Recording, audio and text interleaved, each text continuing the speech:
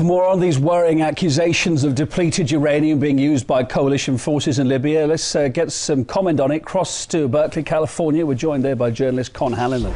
Uh, Con, thanks for being on the programme. Appreciated. Now, the US denies, doesn't it, using depleted uranium in Libya, and yet we've just heard war veterans in that report there claim that uh, there is evidence showing its use by coalition forces in their airstrikes. To what extent do you think these accusations are true then tonight?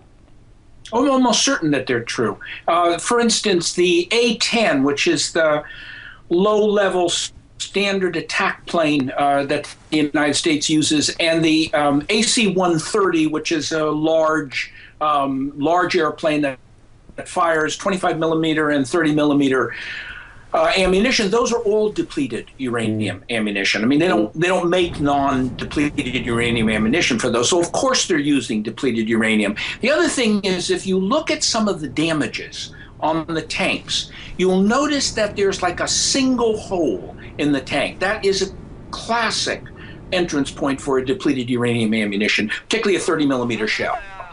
You know, for non-scientists, you hear, you hear the word uh, uranium, you immediately think danger, but just how dangerous are these depleted uranium bombs? Well, it depends what happens to them. They're dangerous in two ways. It's not that they're terribly radioactive, but when they explode, they explode into a fireball of about 10,000 degrees Fahrenheit.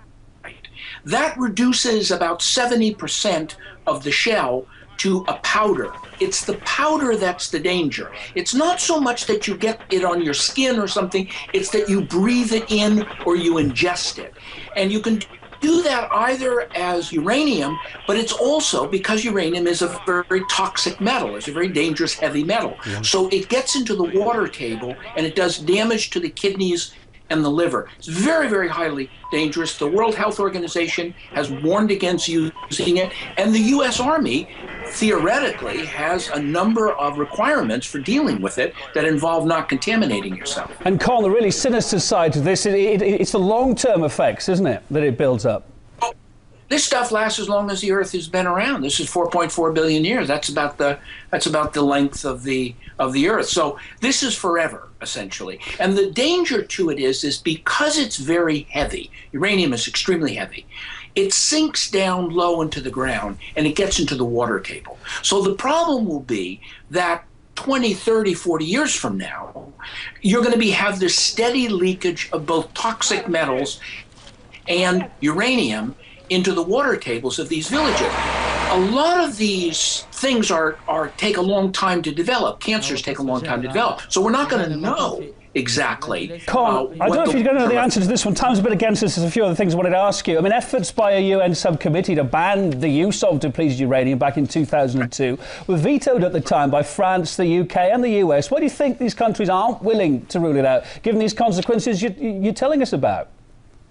Well, the thing about depleted uranium ammunition is that it's, it's spectacularly effective. I mean, it essentially turns four inches of of hardened armor into margarine. It just goes right through it. There, there essentially is no defense against a depleted uranium shell. So, of course, if you're running a war, you want to have depleted uranium ammunition, and the United States is now trading and selling depleted uranium ammunition to a large number of its NATO allies and non NATO allies, uh, about 25 countries across the world. There are some countries that have refused to use it. Germany and Italy refuse to use it, and Belgium is the first country to actually ban its use.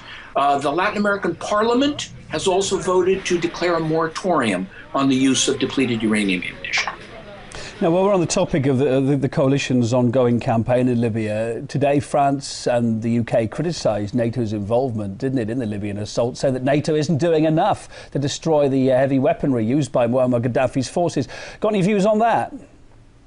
Well, what's happened is the original UN resolution, uh, um, 1973, called for no fly zone. It did not call for taking part one side in the Civil War. It certainly did not call for attacking tanks or personnel or artillery, etc.